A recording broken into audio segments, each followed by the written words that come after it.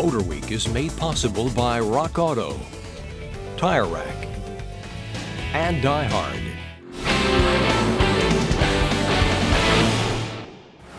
If you're a fan of Mercedes-Benz, and more specifically their AMG Performance Division, you know that the Black Series label denotes something truly special.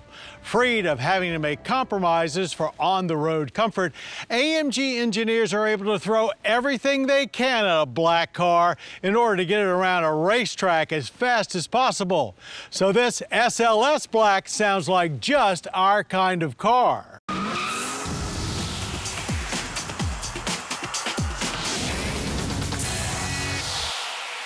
The 2014 Mercedes-Benz SLS AMG Black Series is the fifth Black Series model from AMG and perhaps the most fitting one as the SLS was an all-AMG affair from the get-go.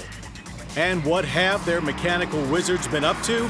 Well, if you've ever wondered what AMG could do if they pulled out all the stops, this is it. Faster in a straight line? Sure. But really, SLS Black is more about turning, stopping, and staying super flat in corners. But let's start with the SLS's still normally aspirated 6.2-liter V8. Horsepower bumps up to 622. It revs higher and a lot quicker, which is a good thing as torque is actually down a bit to 468 pound-feet. But the launch is improved, and launch it we did, engaging race start, nailing the throttle, and letting the SLS rocket to 60 in 3.2 seconds. There's a new rear electronic diff lock with a shorter final drive ratio that helps lower the quarter mile time to 11.2 seconds at a blistering 128 miles per hour. The 7-speed speed shift DCT transmission doesn't shift as fast as some supercars, but it still works with snappy precision. With any car that offers this amount of breathtaking performance, it's really a waste unless you're on a proper road course. It almost doesn't even matter how challenging the track is. Just find one.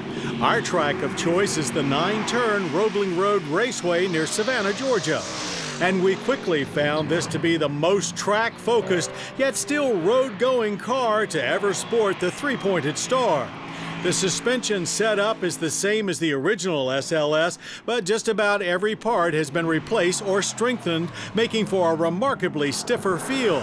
And while it remains a physically big car and sometimes feels a bit awkward with the front wheels so far out in front of you, it still reacts with impressive balance. The immediate response of the steering took us a few laps to get used to, and you'd better be able to respond quickly yourself, as the Black Series will do whatever you tell it to do, whether it's the right thing or not. The throttle is also very sensitive, making it hard to sneak up on the car's limits. All of a sudden, hey, look out, you're there. The same three-stage anti-skid system remains, but with the increased capabilities of the car, it seems much less eager to chime in. The standard two-piece carbon ceramic brakes are upgraded as well and work superbly with great feedback. Even at first glance, the additional GT3-inspired aerodynamic enhancements of the Black Series are obvious.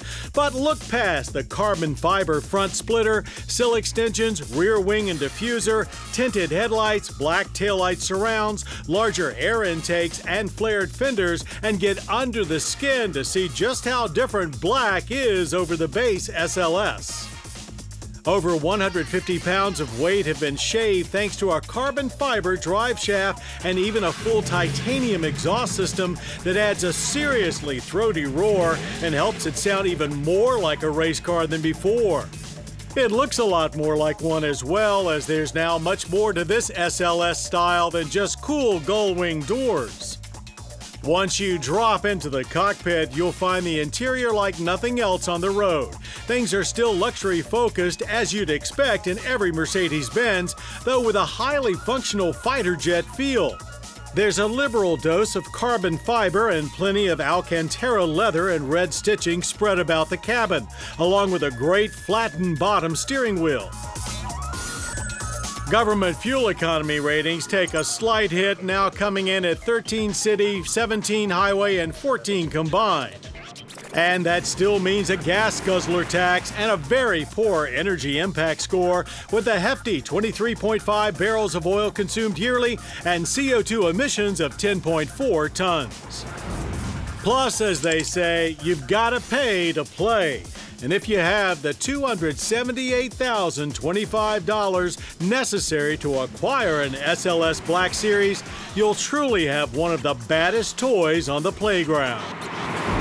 You'd better act fast, though, as Mercedes Benz has announced this will be the last year of production of all variants of the SLS AMG. And with the 2014 Mercedes Benz SLS AMG Black Series, they are indeed going out with a bang. The engineers at AMG have taken a rich man's toy and unleashed the real deal supercar that lies beneath. This new black will surely make a statement wherever it arrives.